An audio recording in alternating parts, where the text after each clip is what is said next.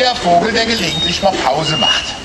In der Gewerkschaft formiert, merkt man das, dann sitzt er auf dem Zaun, auf dem Boden, auf dem Baum, auf der Bank, aber auch schon mal auf Kopf oder Schulter eines Besuchers.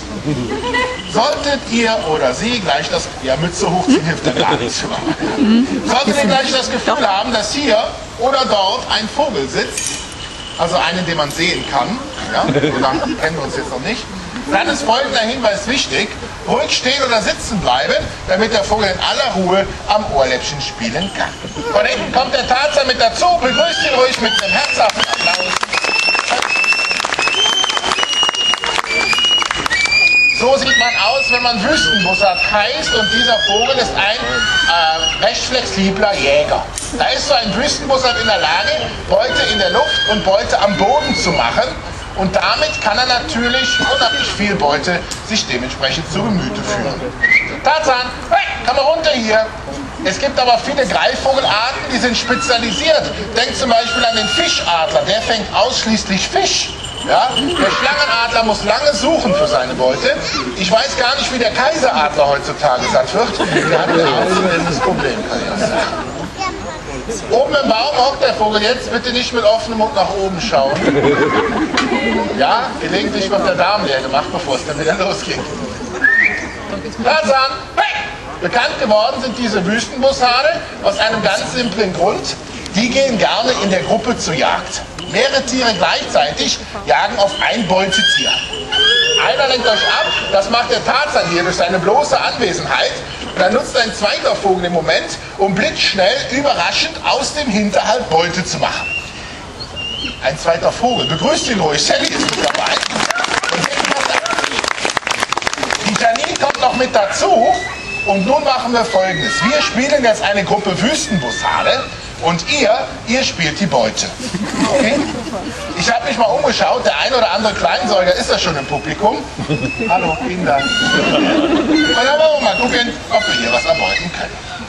Wichtig ist jetzt hierbei, alle Akteure im Auge zu behalten. Ich kann euch jetzt schon sagen, wenn ihr nicht mit dem Medium verwandt seid, gibt das Kopfschmerzen, denn von links und rechts kommen unsere Tierchen hier gleich dementsprechend eingeflogen. Wind und Thermik sind nötig, damit diese Vögel auf größere Höhen kommen. Größere Höhen heißt, bis auf 7500 Meter kann solch ein Vogel dann dementsprechend ansteigen. Rekordhalter ist aber der Antenkondor, der wurde schon auf einer Höhe von 10.500 Meter gesichtet. So, Tarzan halten wir mal kurz fest, denn mit unserer Sally möchte ich euch jetzt mal zeigen, warum diese Tiere Greifvögel genannt werden. Denn die fangen und töten ihre Beute mit den Füßen. Nicht wie der Rabe eben, der hat das Futter mit dem Schnabel gefangen. Dieser hier fängt es gerne mit dem Fuß. Da ist er nicht so talentiert drin. Manchmal berührt er es nur und ganz selten fliegt ein frisches Stück Fleisch Richtung Publikum. Sollte euch also gleich ein frisches Stück Fleisch entgegenkommen, macht einfach mit, fangt das Stück Fleisch mit dem Mund oder mit dem Fuß, das könnt ihr kurzfristig entscheiden, wenn es auf euch zukommt. Achtung, Konzentration und Trommelwirbel. Das Stückchen Fleisch fliegt hoch in die Luft, Sally hinterher und... Ja.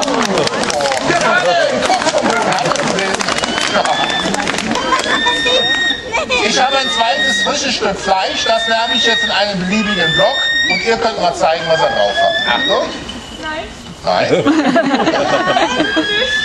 Wir wollen uns jetzt einmal anschauen, ob wir nicht in der Lage sind, live und in Farbe hier einmal Beute zu machen. Meine Frage ans Publikum, hat jemand einen Kleinsäuger abzugeben?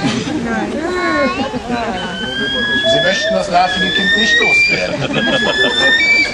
Dann frage ich etwas netter. Ist jemand im Publikum mit dabei, der mal Lust hat, meinen Handschuh überzustreifen, mit dem Ziel und der Aufgabe, dass ein Vogel darauf landet? Wie sieht's aus? Wer hat Bock? Irgendeiner im Publikum am liebsten? Holen wir natürlich jetzt Kinder nach vorne. Guck mal, die reißt sich ja schon mal die Arme aus. Komm du zu mir, kriegst einen riesen Applaus, weil du so bist. Hallo, wie heißt du? Ja, Johanna. Johanna, warum hast du dich gemeldet? Sehr schön. Aber du sollst jetzt Beute spielen und dann gucken wir mal, ob du das dann auch noch so faszinierend findest. Du läufst jetzt so schnell du kannst in diese Richtung.